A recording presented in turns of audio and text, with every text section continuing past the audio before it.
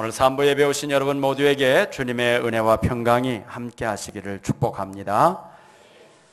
아, 우리에게 있어서 가장 귀한 복은 뭐니 뭐니 해도 은혜입니다. 예, 하나님의 은혜. 은혜는 내 힘으로 되는 게 아니지요. 하나님이 거저 주시는 선물이 은혜입니다. 평강. 여러분 평강보다 더 좋은 축복이 어디 있습니까?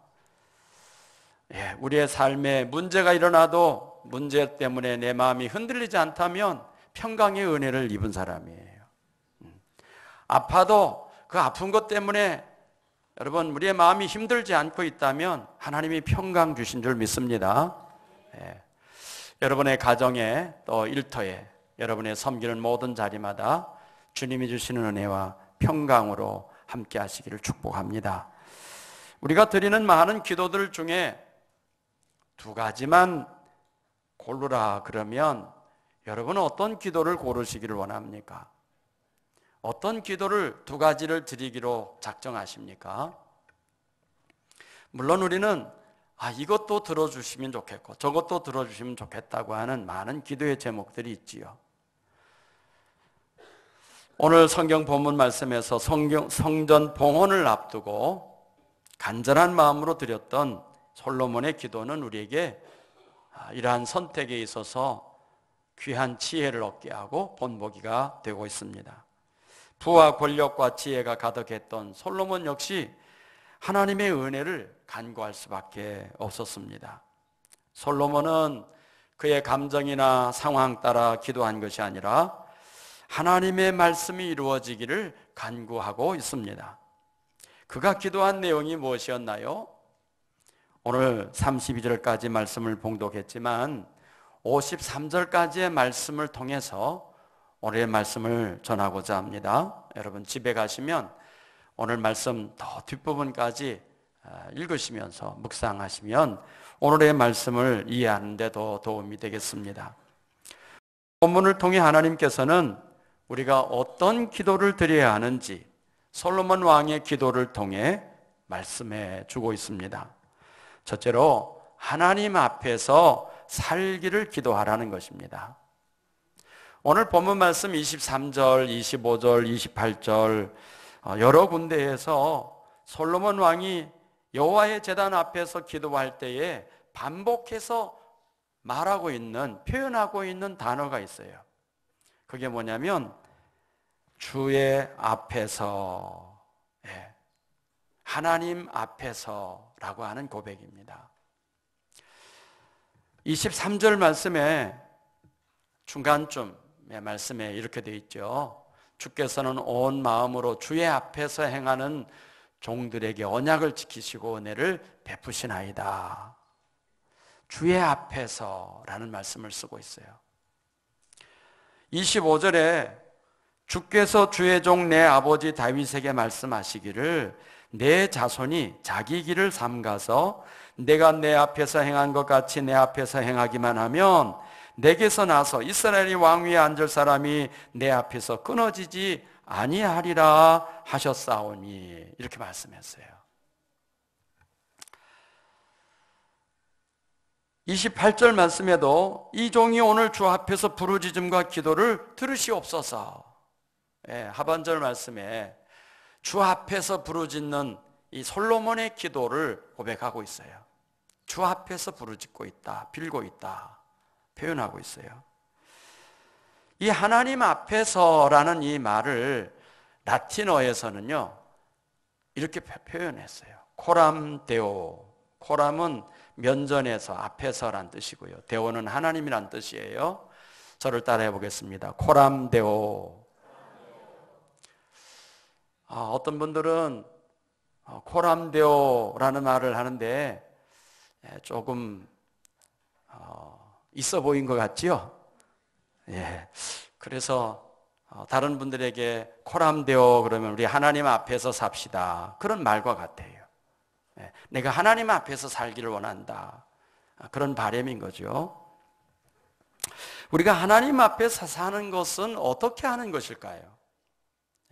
이 말은 반대되는 말이 있어요. 하나님 앞에서의 반대는 뭐겠어요? 사람 앞에서지요. 사람 앞에서. 어, 우리 국민은 체면을 중시하잖아요. 체면. 체면이 뭡니까? 사람 앞에서 나를 어떻게 볼까? 다른 사람이 나를 어떻게 여길까? 다른 사람을 염두에 두고 행동을 한다는 거죠.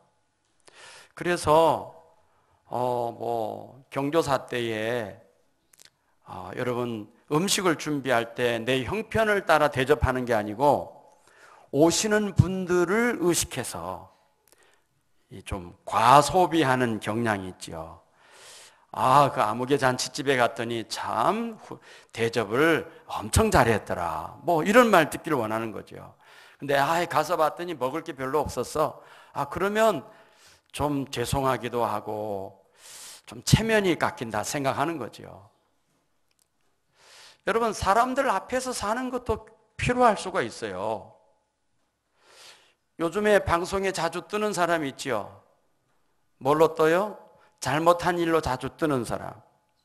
케이팝 아주 유명한 가수였던 사람들이 지금 검, 아주 검찰에 어, 출석해서 이제 조사를 어, 받는 모양인데요. 이 사람들이 자기들이 다니는 그 클럽에서는 뭐 괜찮았어요. 자기들 친구들끼리는 카톡방에서 나눈 대화가 재미있었어요. 자랑을 했어요. 아, 뭐 부러워하고 말이에요. 그런데 사람들 앞에 알려지고 나니까 어때요? 고개를 못 숙였어요. 고개를 숙이, 숙이고 얼굴을 들지 못했어요. 왜 그래요? 저들끼리는 괜찮았지만 많은 사람들 앞에서 그것이 드러났을 때는 부끄럽다 이거죠. 잘못됐다는 걸 그제서야 깨닫는 거죠. 맞췄느냐는 거예요. 자기들 친구들의 눈높이에 맞추니까 아주 영웅남이 되는 거예요. 이렇게 했다, 저렇게 했다. 예. 그런데 일반 사람들의 상식에 눈에 맞췄더니 부끄러움이 됐다, 이거 말이죠. 우리 신자들은 어떻게 살아야 되는 겁니까? 하나님의 눈높이에 맞춰서 사는 게 신자인 거죠. 이게 바로 고백하는 말이 하나님 앞에서라는 고백이에요. 자, 그래서 하나님이 여기에 계셔서 내 말을 듣고 계시다. 하나님이 나의 마음도 살피시고 계시다. 하나님께서 보시고 계시고 들으시고 계시다고 하는 것, 하나님을 의식하는 것. 이게 바로 하나님의 존전 앞에서, 면전 앞에서, 하나님 앞에서 사는 성도의 모습인 것이죠. 그러므로 오늘 우리가 예배당 안에서만 하나님 앞에서 사는 게 아니죠. 우리가 가정에서도 일터에서도 목장 모임할 때도 여러분이 회의를 할 때도 여러분 하나님 앞에서 우리가 사는 거예요. 하나님 모시고 하는 거예요. 하나님 모시고. 예배 드릴 때는 하나님 앞에서 예배 드리는데 다른 데 가서는 하나님이 없다. 그러면 아, 이게 문제가 심각해지는 거예요. 네. 싸울 때도요, 하나님 앞에서 싸워야 돼요. 그래야 빨리 해결할 수 있어요. 하나님이 뭐라 그랬습니까? 화를 내어도 분을 내어도 하루 해를 넘기지 말아라 그랬잖아요. 무슨 말이죠? 하루 해를 넘어가면 마귀에게 쓰임 받는 게 돼요. 처음에는 이것이 의로운 분이라고 할지 모르지만 예, 하루가 지나가면 마귀한테 쓰임 받는 분이 되고 만다는 거예요. 하나님은 우리가 때로는 우리 감정에 휩싸일 때가 있지요.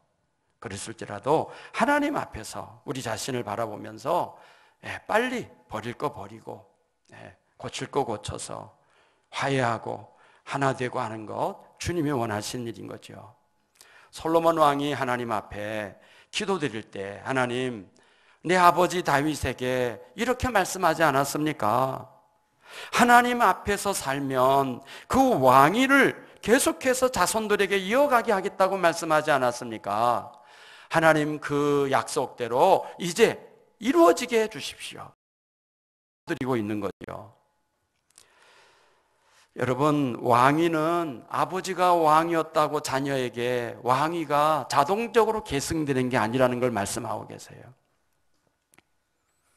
그가 하나님 앞에서 어떤 삶을 사느냐에 따라서 결정이 된다는 거예요.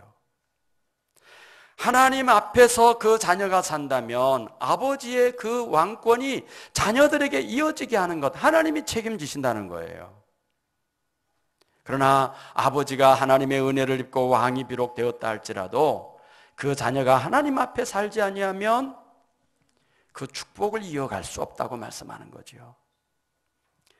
여러분 자녀들이 아버지 어머니가 신앙생활 잘하니까 자녀들도 저절로 경건해지리라 기대하십니까?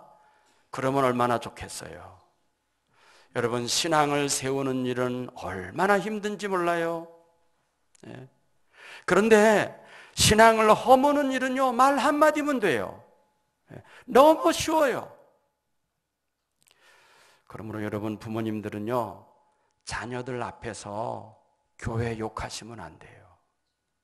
욕할 일 있으면요, 골방에 가서 혼자 있을 때, 다른 사람 안 들리는 곳에서 욕하셔야 돼요. 이왕 욕할 바에야 기도하는 게 낫겠죠? 예. 기도해야 하나님이 들으시고 역사하실 수 있잖아요. 일하실 수 있잖아요. 예. 아무리 욕해봤자요, 고쳐지지 않아요. 기도해야 고쳐지는 거예요. 자, 교회를 욕하면 자녀들이 아, 그런 교회 왜 가겠냐 이거죠. 그러지 않겠어요. 그리고 그 욕하는 교회에 하나님이 없다고 생각할 거예요. 그렇게 되면 어찌 되겠어요? 교회를 떠난 것으로 끝나지 않고 하나님을 떠나버리게 되는 거예요. 여러분, 이런 사람들이 얼마나 많은지 몰라요.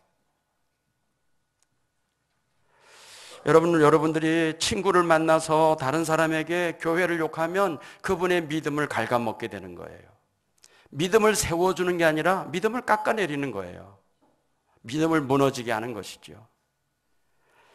부모님이 하나님을 믿기만 하면 아니라 믿기만 하면 되는 게 아니라 하나님 앞에서 살때 자녀들도 그 신앙을 이어받을 수 있다는 거예요. 예.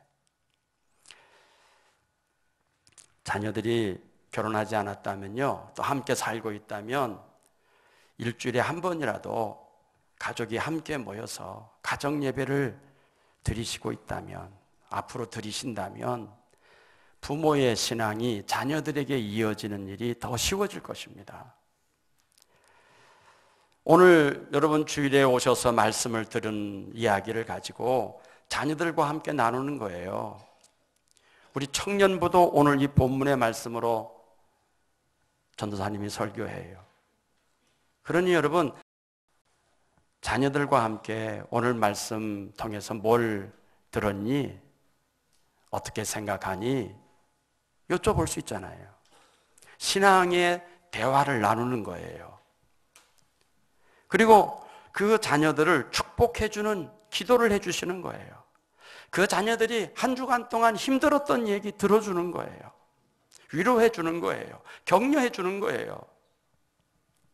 그러므로 여러분, 가정 예배는 우리 믿음의 세대를 이어가게 하는 다리 역할을 하는 것입니다. 다윗 왕이 하나님 앞에서 살았던 사람이라고 말씀하셨잖아요. 하나님이 그랬잖아요. 너가 내 앞에서 사는 것처럼 너희 자손들도 내 앞에서 살면 내 왕위를 내가 계속 이어가게 자녀들을 내가 세워주겠다 이런 말씀하셨잖아요. 자, 그런데 여러분 다윗 왕이 하나님 앞에서 살았다고 해서 죄를 짓지 않았나요? 여러분도 알고 저도 알고 있는 것처럼 다윗 왕이 간음죄를 지었어요.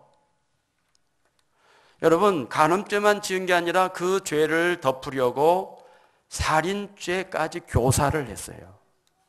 요압 장군에게 지시를 해가지고 그 우리아라고 하는 충신 장군을 아주 전쟁터 맨 앞에 세워서 선봉에 세워서 맞아 죽게 하라는 거예요.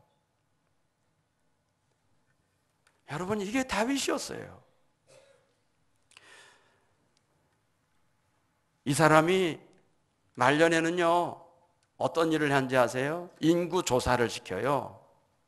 아니 인구 조사한 게 통계 조사한 게 무슨 잘못이냐 이렇게 생각할지 모르시지만 여러분 성경에서 인구 조사라고 하는 의미는 뭘 의미하느냐면요. 하나님을 의지하고 살던 다윗 왕이 이제는 군대의 힘을 의지하고 살겠다고 마음을 바꾼 걸 의미하는 거예요. 군사력을 의지해 가지고 내가 큰 소리 치겠다는 거예요.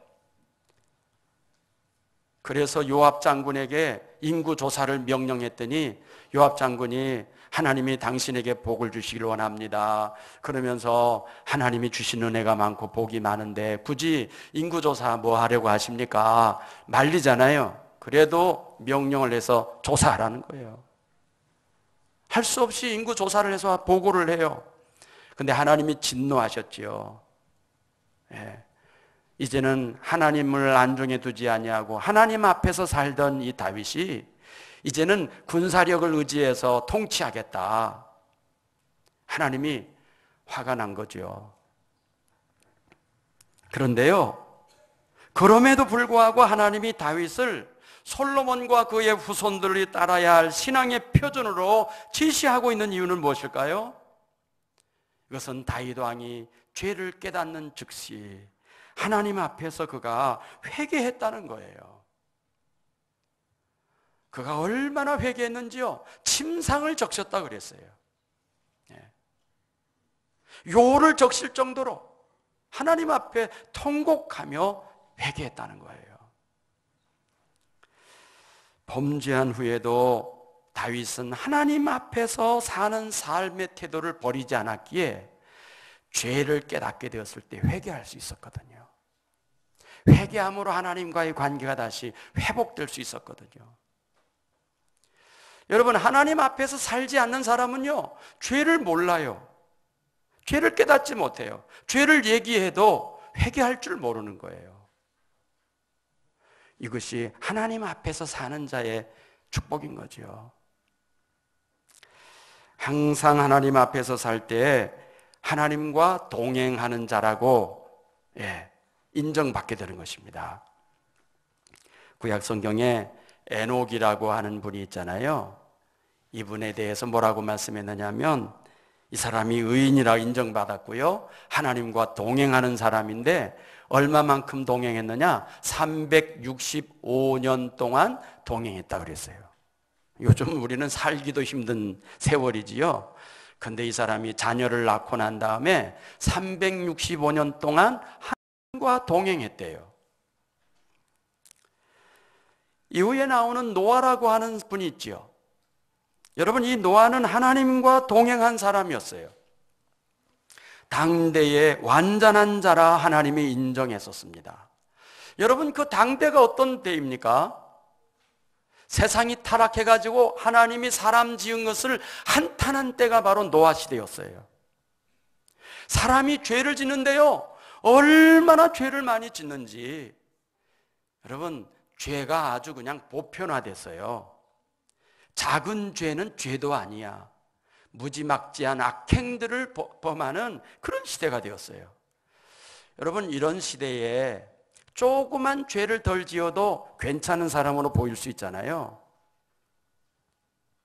사람들의 기준에 맞춰서 노아가 살았다면 그는 의로운 사람일 수 없어요. 하나님과 동행할 수 없었을 거예요. 다른 모든 사람들은 이웃에게 기준을 맞추는 거예요. 어, 저 사람은 나보다 더하네, 뭐. 그러니까 나는 괜찮은 사람처럼 보이는 거죠. 근데 노아는 하나님을 바라보고 하나님 앞에서 자기를 살폈어요. 그러니 여러분, 특별히 돋보이는 거죠. 하나님 앞에서. 이 노아의 가정을 하나님이 구원하시잖아요. 제가 1, 2부 때는 말씀을 드리지 않았습니다만은 하나님께서 우리들에게 이 세대를 본받지 말라 그래요. 타락한 세대를 본받지 말라는 거죠. 세상의 기준에 맞춰 살지 말라는 거예요. 성도는 하나님의 기준에 맞춰 살라고 말씀하는 거잖아요. 어, 제가 요즘에 못 봤기 때문에 말씀을 합니다. 그 외에 이렇게 보면 어, 바지를 입고 다니는데 구멍난 바지 입고 다니는 분 보셨어요? 근데 그분들이 가난해 가지고 헐 떨어진 옷을 주워다 입어서 바지에 구멍이 난 게 아니고 보니까 이, 이, 살 때부터 구멍이 난 바지죠. 예. 여러분 그 청바지에 구멍을 내 가지고 입고 다니는 거 세상의 기준으로 보면 유행이에요. 그렇죠? 뭐 다른 사람도 있고 뭐 괜찮아. 여름에는 바람도 잘 들어와서 시원할 수도 있어. 그럼 차라리 잘라버려. 그 구멍난 밑으로. 예. 근데 여러분 이 원래 청바지에 구멍 내서 입었던 사람들이 어떤 사람인지 아세요? 네, 반항적인 아이들이 이런 옷을 입기 시작했어요. 기존의 질서를 무너뜨리기 위해서 반항하는 아이들이 입었던 옷이에요. 그러니까 하나님이 보실 때 어떻게 생각하겠어요? 야, 너는 구원받은 내 자녀이니 그 세대를 본받지 마라. 이 세대를 본받지 마라. 옷을 단정하게 입어. 깨끗하게 입어. 차라리 짧은 옷 입으려면 적당히 짧은 옷 입고 긴 옷 입으려면 적당히 예 그렇게 입기를 원하시죠. 예전에 배꼽티가 유행하더니 요즘은 배꼽티가 사라진 것 같아요. 누가 다 배꼽 있는 거 알지요? 보여주지 않아도. 뭘 말하는 거예요? 자기를 노출시키고자 하는 마음들이죠. 왜 노출시켜요? 사실 타락한 문화들이죠. 하나님의 자녀들, 여러분, 이스라엘 사람들은요, 수염도 깎지 말라고 말씀하는 부분이 있어요. 왜 그래요? 이방 사회에서는 수염을 깎았어요. 그렇죠? 머리를 완전히 대머리로 이렇게 미는 일들이 이방 사람들에게 있었어요. 문신을 새기는 일들이 많았어요. 그러나 하나님의 백성들은 문신 새기지 말아라 말씀하셨거든요. 머리를 완전히 깎지 말아라. 시험을 완전히 깎지 말아라. 이런 말씀을 하세요. 제가 시험을 안 길러서 죄송합니다. 이 말씀은 뭐냐면 구별되게 살아라는 얘기예요.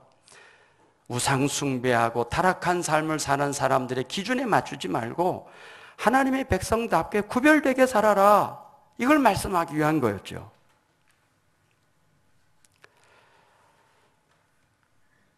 하나님 앞에서 우리가 살 때에 바로 하나님과 동행하는 자가 될 수 있는 것입니다.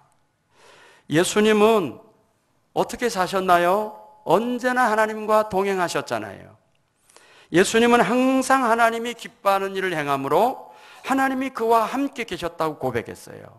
요한복음 8장 29절의 말씀을 우리 다 같이 함께 보시겠습니다.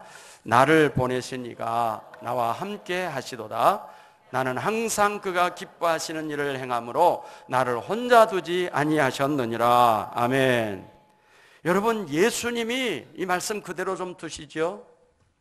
예수님이 하나님 아버지와 함께 하신다고 하는 거. 성경 말씀 보여주세요, 방송실. 뭐라고 말씀했죠? 나를 보내시니 하나님이시잖아요. 하나님 아버지. 나와 함께 하신다 그랬어요. 아, 하나님 아들이시니까 하나님이 함께 계셨구나. 우리는 이렇게 생각할 수 있죠. 신분 때문에. 예. 근데 여러분, 예수님의 고백이 뭐예요? 나는 항상 그가 기뻐하는 일을 행했다라고 고백했어요.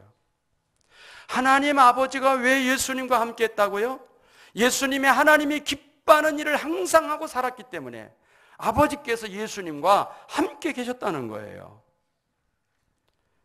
여러분, 이것을 우리가 놓치면 안 돼요. 내가 예수를 믿었어요. 하나님의 자녀가 되었어요. 얼마나 감사한 일이에요. 하나님이 우리와 함께 하실 줄 믿습니다. 그런데 내가 하나님이 기뻐하는 삶을 산다면 하나님은 영원히 우리와 함께 하실 거예요. 여러분, 우리가 하나님 앞에서 내가 살고 있느냐? 주님이 나를 보십니다. 주님이 내 말을 듣고 계십니다. 주님이 내 중심도 헤아리고 계십니다. 라는 의식이 있을 때, 이런 깨달음으로 살 때, 우리는 하나님 앞에서 사는 자, 주님과 동행하는 자가 될 수 있다고 말씀하는 것입니다. 주님을 사랑하시는 성도 여러분, 나는 누구 앞에서 말하고 행동하고 있습니까?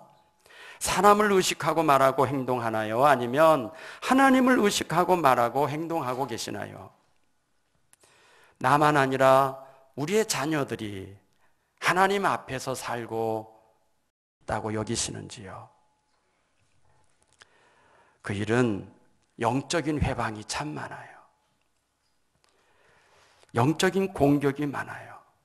하나님 앞에서 살지 못하게 가로막는 일들이 얼마나 많은지 몰라요. 다른 사람 때문에, 예, 어떤 일 때문에 하나님 앞에서 살지 못하도록 장애물들이 많다는 것입니다. 그러므로 이것을 이겨내려면 하나님의 도우심을 구해야 돼요. 예, 하나님의 은혜를 구해야 돼요. 하나님을 아, 우리가 의식하고 하나님과 동행하기 위해서는 우리 자신이 하나님이 기뻐하는 삶, 예, 하나님 앞에서의 삶을 살아가야 한다는 것입니다. 우리가 하나님을 믿는다고 하면서도 내가 내 마음대로 말하고 마음대로 행동하고 있다면 하나님을 의식하지 않는 삶이 되어버린 것이죠.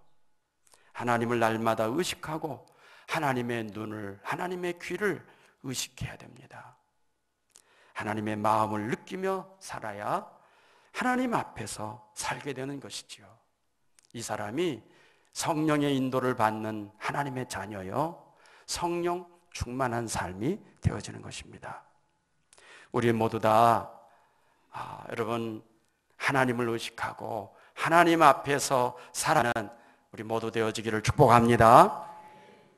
둘째로 솔로몬이 드린 두 번째 기도의 내용을 보면요. 성전에서 또는 성전을 향하여 기도하라고 말씀하고 있어요.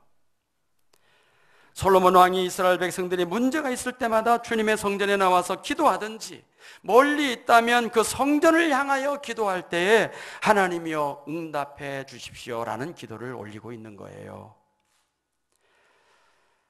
여기에 53절까지의 말씀을 보면 일곱 가지 기도의 제목을 가지고 솔로몬 왕이 기도를 드렸거든요.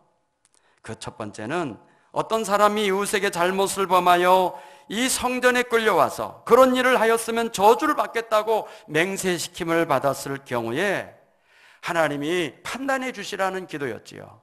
두 번째는 백성이 죄를 범함으로 전쟁에서 패하고 성전에 나와 용서하기를 간구할 때에 하나님이 그들을 용서해 주시라고 하는 기도였고요. 세 번째는 백성이 죄를 범함으로 가뭄을 겪을 때 성전에 나와 용서를 빌면서 피를 허락해 주시기를 간구할 때 응답해 주시라는 기도였고요. 네 번째로 이스라엘의 재앙이 아주 극심한 상황에서 백성이 성전에 나와 용서를 빌 때 죄를 사해 주실 것과 그리고 그들의 행위대로 갚으실 것을 간구하고 있는 기도예요.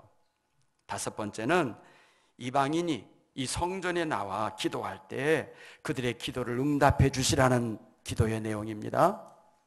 여섯 번째는 전쟁에 나가는 주의 백성이 예루살렘 성과 주의 전이 있는 쪽을 향하여 기도하면 들으시기를 간구한 내용이에요. 마지막 일곱 번째는 범죄하여 적국의 포로로 끌려간 백성이 회개하며 전이 있는 곳을 향하여 간구할 때 들으시기를 간구했던 거지요. 여러분 이 일곱 번째 기도의 내용대로 니에미아라고 하는 사람은 바벨론의 포로로 끌려간 사람이었잖아요. 자기 살던 고향의 성전이 완전히 회파되고 허물어져 버렸다고 하는 얘기를 들었을 때에 여러분 외국 땅 포로된 그곳에서 하나님 앞에 금식하며 탄식하며 기도를 하는 거예요. 그랬을 때에 하나님이 이 느헤미야의 기도를 들어주시고 니에미아를 여러분 총독으로 파송을 해줘요. 그 가나안 땅으로. 그리 와서 예루살렘 성벽을 재건하는 일을 하잖아요. 네. 하나님을 향하여 하나님의 전을 향하여 여러분 다니엘이 기도하잖아요. 아무데나 향해서 기도하는 게 아니에요. 하나님의 전을 향해 기도했다는 거예요. 그들의 마음에 늘 하나님을 사모하고 하나님을 갈망하는 마음이 있음을 표현하는 것이죠. 여러분 이슬람교를 믿는 사람들은요. 일을 하다가도 시간 되면 메카를 향해서 절을 하면서 기도해요. 한 번은 성지순례 갔을 때요. 가이드가 이슬람 사람이에요. 이슬람교를 믿는 사람이에요. 이 사람이 자리를 이렇게 뭐 깔개를 펴더니요. 나침판으로 메카를 찾는 거예요. 저들의 성지라고 하는 메카를 향해서 방향을 찾은 다음에 거기에 무릎 꿇고 절을 하는 거예요.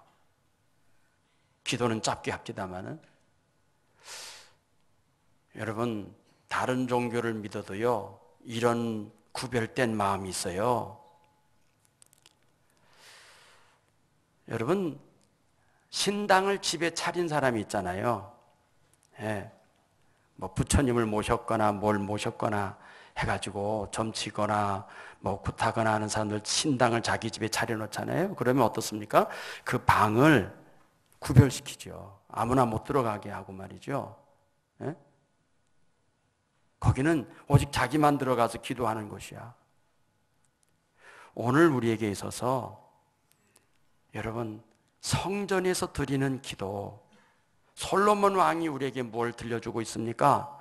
성전이 구별된 하나님의 임재의 자리이기 때문에 그곳에 와서 기도하더라도 여러분 그곳을 향해 기도하더라도 하나님이 들어주십시오. 문제 해결을 해 주십시오. 이런 기도를 드리고 있는 거예요. 왜 성전에서 기도할 때 문제 해결이 되는 것입니까? 바로 거기에 하나님이 임재하시다고 하는 신앙 때문인 거죠. 네. 자, 오늘 우리는 이 성전을 일컬을 때에 하나님의 집이라고 부릅니다. 맞죠? 하나님의 집이. 왜? 하나님 계시니까 하나님 집이죠. 그리고 하나님 만나는 곳이지요. 성전이 짓게 되는 성막이 있었는데 그 성막을 회막이라고도 불렀어요. 뭐예요? 하나님이 그 백성을 만나시는 자리라는 거죠. 예수님은 이 성전은 이사야 말씀처럼 만민이 기도하는 집이라고 했어요. 기도하는 집이에요. 여러분, 이 기도하는 집에서 기도할 때에 하나님이 우리의 기도를 기쁘시게 받으신다는 거예요. 자, 그런데 우리는 하나님을 알고 있는데 그 하나님은 무소부재하신 하나님이다. 이렇게 우리가 들었어요. 아니 계신 곳이 없이 어디에나 계시다. 그 말이죠. 믿습니까? 하나님은 어디에나 계시지요. 그분이 창조한 온 우주 안에 가득 충만하세요. 자, 그런데 그러면 하나님이 절간에도 계실까요? 그 유명한 가수들이 출입했다던 클럽에도 하나님이 계실까요? 물론 하나님이 보시긴 하겠지요. 그러나 하나님이 그곳에 머무시기를 기뻐하지는 않는다 이거예요. 왜요? 하나님은 거룩한 분이기 때문에 그래요. 하나님은 거룩한 곳에 계시기를 원하세요. 거룩하지 아니한 곳이라 할지라도 하나님이 계시고 나면 거룩해져야 된다는 거예요. 그렇죠? 마국간이 뭐가 된지 아세요? 지금 베들레헴 성전이 됐어요. 냄새 나던 마국간도 예수님 태어나니까요, 거룩한 곳으로 바뀌어졌어요. 죄인이 막 살다가 예수를 믿고 나면 예수님을 모신 심령이 되면 거룩한 사람으로 바뀌어지는 거예요. 할렐루야. 아주 중요한 고백인 거예요.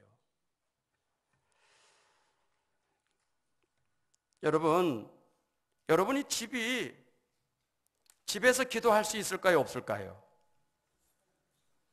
있을 수도 있고 없을 수도 있어요. 왜 그럴까요? 뭐 기도는 할 수는 있지만 하나님이 들으시는 기도가 중요하지요. 하나님이 연락하시는 게 중요하지요.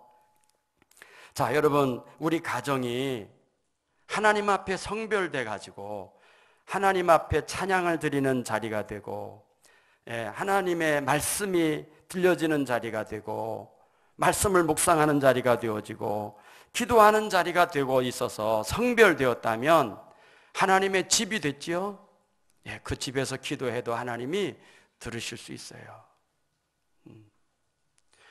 마치 고넬료와 같지요. 고넬료가 여러분 구시 기도 시간에 하나님 앞에 기도할 때 천사가 와서 응답했다고 말씀해 주잖아요.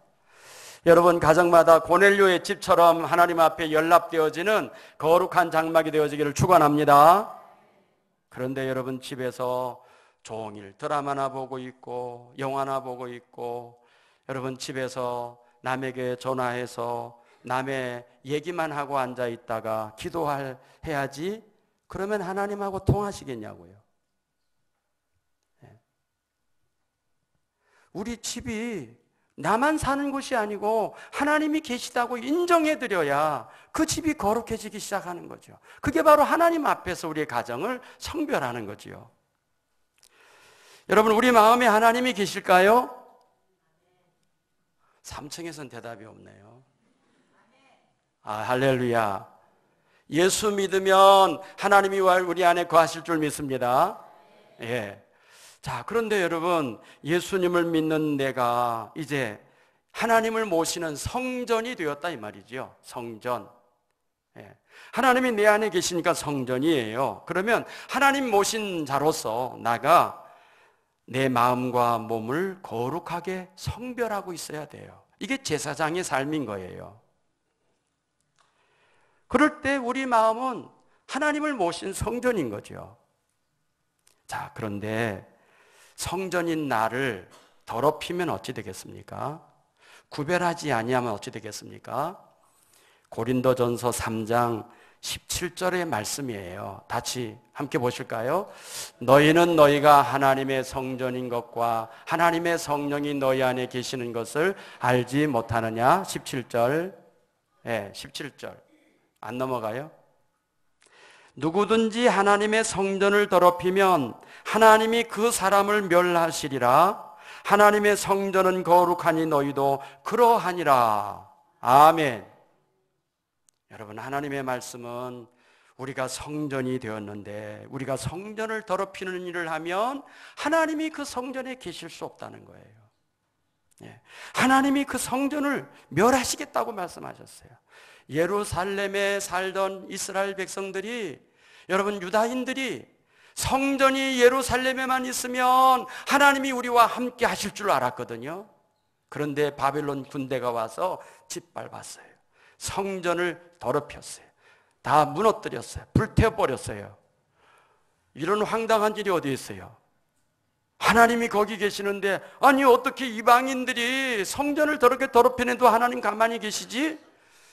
여러분, 하나님이 그곳에 계시면 어찌 적들이 와서 그곳을 공격할 수 있겠습니까? 하나님이 떠나버렸어요, 이미. 언제 떠났어요? 하나님이 선지자들을 보내어서 우상 숭배하고 있는 이 이스라엘 백성들에게 우상을 섬기면서도 하나님 섬기는 거 있지요. 제사는 꼬박꼬박 드려요. 11조도 드리고 있어요. 그러면서도 절기를 지키면서도 우상 숭배 또 가서 하는 거예요. 양다리 걸치게 하고 있었어요. 선지자를 보내어 회개하라고 돌아오라고 했지만 돌아오지 않았어요. 마지막 선지자가 누구였어요? 예레미야 선지자. 눈물의 선지자. 눈물로 하나님의 말씀을 선포했지만 듣지 않았어요. 욕으로 여겼다 그랬지요. 하나님의 말씀을 욕으로 여기며 듣지 않았던 결과 예레미야 시대 때 유다 나라는 멸망당하고 말았다는 것입니다. 성전이 있어 봐도 소용이 없었다는 거예요. 여러분 오늘 우리가 신앙생활을 할 때 우리 집에 교패를 붙이면 이제는 우리는 하나님이 지켜주실 거야. 그렇게 생각하고 있다면 그거는 교패 부적을 붙인 거예요. 우리 집이 예수를 믿고 난 다음에 예수 믿는 집안으로서 성별이 가야 돼요. 예. 제사를 드리던 집안이 이제는 제사 대신에 추도식으로 바꾸셔야 돼요. 귀신을 섬기는 제사가 아니라 하나님 앞에 우리의 부모를 보내주셨던 것 추모하면서 그분의 생전에 덕을 기리면서 그분이 신앙을 가졌다면 그분이 우리를 위해 기도해 주셨던 것, 믿음의 앞길을 열어주셨던 걸 감사하면서 예배 드리기를 원하시는 거죠.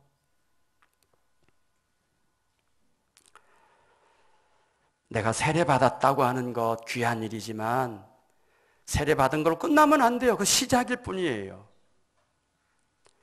우리 자신을 항상 정결하게 우리 자신을 주님 앞에 드리는 것, 하나님 앞에서 사는 삶이 계속돼야 한다는 것이지요. 하나님이 계시는 성전에서 기도하거나 그 성전을 향해 기도할 때 하나님의 구원하심과 도우심을 받게 되는 것입니다. 내가 하나님의 임재하는 성전이 되어지면 예, 솔로몬의 왕의 기도처럼 어떤 문제든지 해결되는 역사가 우리에게 일어날 줄 믿습니다. 솔로몬은 이거를 믿었던 사람이에요. 그래서 예배당을 짓는 것으로 끝난 게 아니라 이 예배당이 어떻게 쓰여져야 되는지를 우리에게 말씀하고 있는 거죠. 하나님 만나는 자리가 되어야 된다. 예. 하나님 앞에 기도하는 자리가 되어야 된다. 우리 몸도 그렇습니다. 주님을 내 안에 모셨다면 성별시켜서 하나님의 도구로 드려져야 돼요. 쓰여져야 돼요. 내 안에 모시고 계신 하나님을 왕따시키면 안 되고요. 날마다 그분을 의식하며 살기를 원하신다는 것입니다. 하나님 모시는 성전이 될 때에 하늘문이 열릴 줄 믿습니다. 기적의 삶이 시작될 줄 믿습니다. 은혜가 우리에게 쏟아지고 축복의 문이 열릴 줄 믿습니다. 기도하겠습니다. 하나님 아버지, 오늘도 은혜 보좌 앞에 나와 예배하는 저희들에게 주님 말씀해 주셨습니다. 우리로 하여금 하나님 앞에서 살라 말씀하셨습니다. 하나님 앞에서 살기를 기도하라 하셨습니다. 우리 자녀들의 건강과 축복된 삶을 위해 우리가 기도하는 것도 필요하지만 먼저 우리 자녀들이 하나님 앞에서 살아가도록 기도하는 영적인 어버이가 되게 해 주옵소서. 하나님 아버지, 우리로 하여금 기도하며 주님 앞에 엎드릴 때 성전을 바라보며 성전에서 주님 만나는 자 되게 하여 주옵소서. 우리 안에 거하시는 하나님을 날마다 의식하며 살게 도와 주옵소서. 예수님 이름으로 기도합니다. 아멘. 우리 다 함께 일어나셔서 435장 부르며 봉헌하시겠습니다.